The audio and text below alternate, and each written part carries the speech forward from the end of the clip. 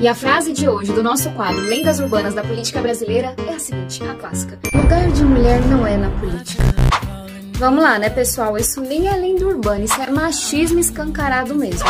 Inclusive, há diversos estudos que foram feitos aqui no Brasil e lá fora que já deixaram muito claro com mais mulheres eleitas, a gente melhora a efetividade das políticas públicas, a gente diminui a corrupção, a gente inspira as meninas a sonharem mais altos, ou seja, fica bom, fica melhor para todo mundo, homens e mulheres. Nós ainda temos um longo caminho pela frente, mas eu tenho muita esperança que a gente está pegando esse bastão das mulheres que vieram antes de nós e que a gente vai entregar uma sociedade muito mais justa e igualitária para as meninas que estão nascendo agora. Marca aqui nos comentários aquela mulher que já está na política e você admira muito ou aquela que ainda não se candidatou, mas tem que se candidatar na próxima.